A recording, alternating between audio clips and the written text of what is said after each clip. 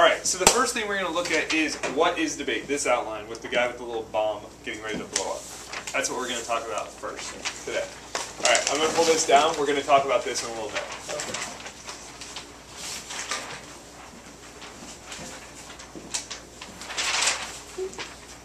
So, what is debate? That's the first question we want to be able to answer, just because otherwise we're going to be lost as we go throughout this, semester. So, what is debate? Track this sheet. Everybody got it? Okay. So, debate is the practice, the practice of comparing and contrasting ideas.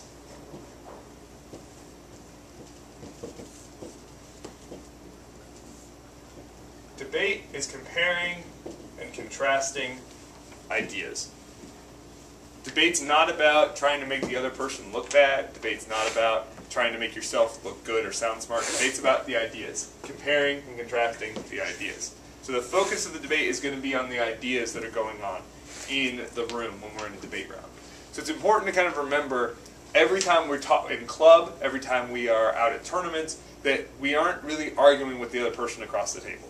We're talking about the ideas. And that makes it a lot easier because when somebody says, I disagree with you, they aren't saying, Jacques, I don't like you. They're saying, Jacques, I think the idea you have is wrong, and here's the reasons I have that I think that idea is wrong.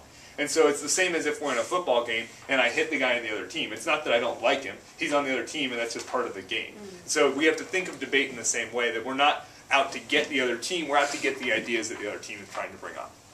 So that's the first thing. The goal of authentic debate is the search for truth. Search for truth.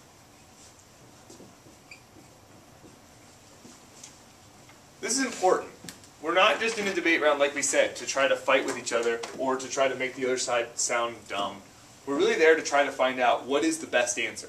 And a lot of times we don't know the best answer. I mean, we had the resolution that we had up, the topic that we had up when you all walked in, and it was that Sci Academy should have a less stringent dress code.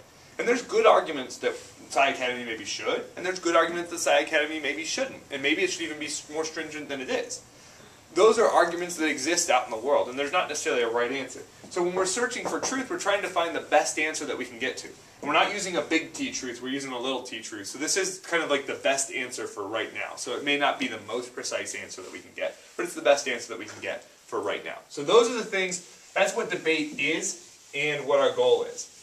The next thing we want to talk about is not just why are we here, but kind of what debate is about in a competitive debate sense. So what debate is not going to teach you.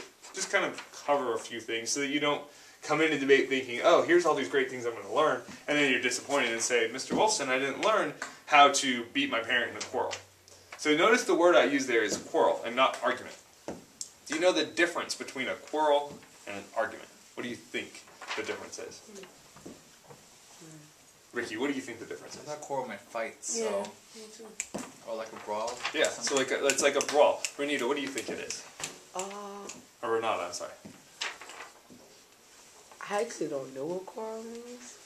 It's okay. So, I, so Ricky's example is really good. So often we hear. So think about arguments that we have with our parents.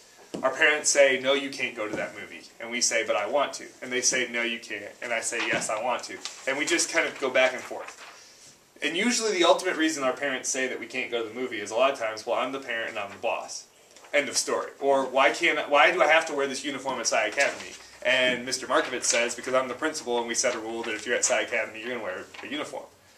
Well, with all you're doing is just going back and forth and saying no, yes, no, yes, no, but you're not actually getting anywhere in the discussion, that's just a quarrel.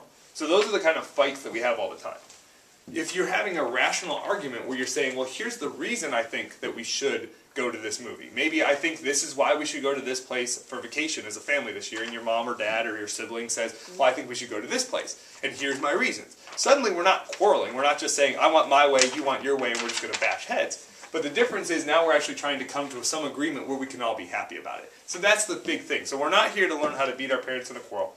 We're not here to teach ourselves or to try to remember that we're always right we're not always right. There's going to be a lot of things we're going to learn this year. There's going to be a lot of things we're going to learn over the rest of our lives where we'll realize, oh my goodness, I can't believe I thought this way. But we'll look back and we'll say, I'm glad I learned that because now I know that there's going to be other situations in my life where I'm not always right. And I'm going to be more willing to listen to what other people say.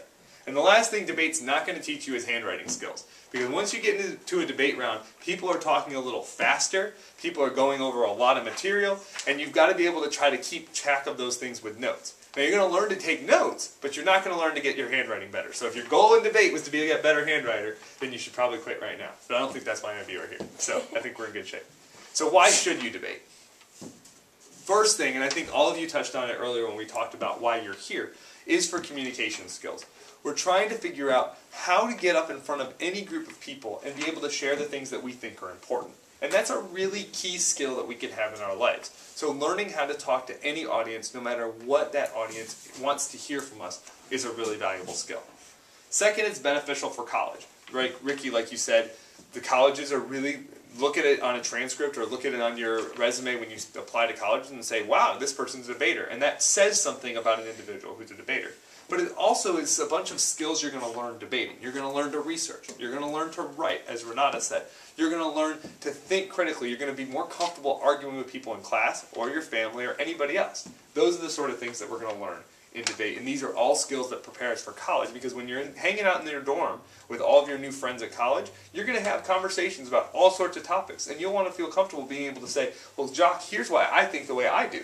And you'll be able to have those kind of conversations and be totally comfortable in them. Another thing is you're going to become more informed. The topic we're going to be talking about for the first two months, so this semester when we talk when we're debating, is going to be United States drug policy, and we're going to be looking at whether it should be treated as a healthcare issue or whether it should be treated as a criminal issue. This is something you probably haven't done a ton of research on in your spare time. You haven't sat down and said, "Hey, mom and dad, I want to write a report on the United States whether or not we should treat our drug problem as a healthcare issue." You probably haven't thought about that so very deeply before, but we're going to spend a lot of time thinking about that. So you're going to be more informed about lots of different issues over the course of the year.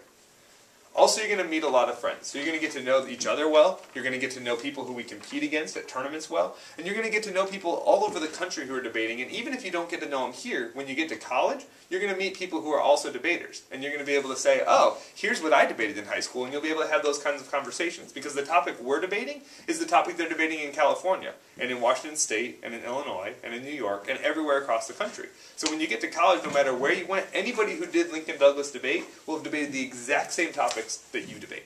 So those are really good ways to kind of get to know people once you get to college. You're going to build confidence. You'll be comfortable standing up in front of any group of people. And finally, you're going to have fun. Now, I know sometimes that seems a little crazy. The debate is going to be fun. It may not sound right off the bat like it's as much fun as other stuff. But in reality, debate is a lot of fun. And you get to test out your mental mettle. So whether or not your mind is as strong as you'd like it to be. And you get to test it out against other people in a really friendly environment. Sure, it's competitive. But at the same time, everybody's there to try to help everyone else learn. What are the things that debate's going to teach you? You're going to learn research skills. You're going to learn writing skills. You're going to learn critical thinking. This is being able to take a complex set of topics and boil them down to figure out what's important so that you can have conversations with people so that when you're writing papers in high school or in college or even if you decide to go to law school or graduate school you'll be more comfortable writing those kinds of papers you're going to learn rhetoric now rhetoric is how to make an argument using speech so you're going to learn how to formulate words to convince other people of the things that you believe you're going to also learn logic and persuasion. So you'll know whether or not the things that somebody else says in the classroom make sense, whether those things follow in a logical sequence. And you'll know how to line up your arguments or the positions you take in class so that it's persuasive to other people in the classroom.